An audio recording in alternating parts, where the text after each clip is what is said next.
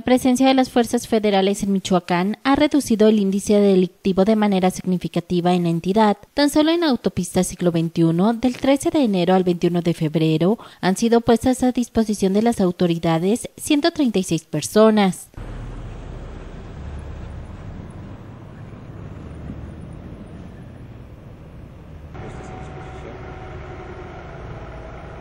Mire, yo tengo un negocito con mi esposa, vendemos cena y pues abrimos a las, a las 6 y cerramos a las 11, 12.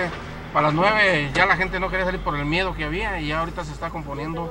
Ojalá, ojalá y esto, pues, ¿cómo le diré? Que dure, que, que no se vaya esta gente. Pues. Ahorita ya se respira otro aire, que es lo que nos hacía falta y además la profesionalización de la policía, de la seguridad es, es algo importante que el gobierno debe tomar en cuenta. Sí.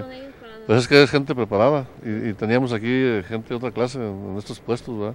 Con filtros instalados en las casetas de cobro y recorridos por la carretera que une a la capital del estado con el puerto de Lázaro Cárdenas, se ha recuperado también un centenar de vehículos robados.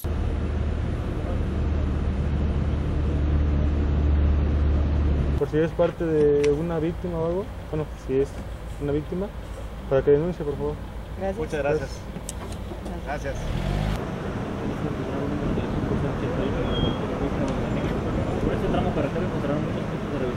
Delitos contra la salud, contrabando, robo de vehículos y hasta tráfico de 19 unidades de sangre humana fueron las causas de la detención de estas 136 personas, por lo que ha regresado la confianza entre la población para circular por esta rúa. Sí está bien porque, pues no sé, alguna, como los que andamos bien, pues no, no nos pasa nada, pero pero sí, para cualquier cosa que, que ande uno mal, pues sí, sí está muy bien el operativo.